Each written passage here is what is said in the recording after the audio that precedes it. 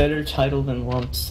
I can't see how many people in your stream. There we go. I had to refresh. Wow.